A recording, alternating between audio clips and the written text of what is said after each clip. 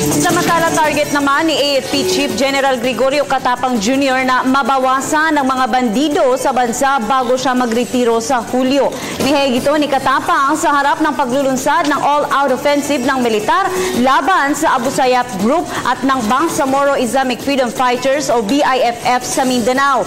Ayon kay Katapang, nais niyang unti-untiing mawala ang karahasang dulot ng naturang mga bandidong grupo at mabigyan ng maayos na pamumuhay ang mga taga Mindanao. Samantala nagpadala na umano si Katapang ng karagdagang puwersa sa Mindanao upang alalayan naman ang mga pamilyang inilikas.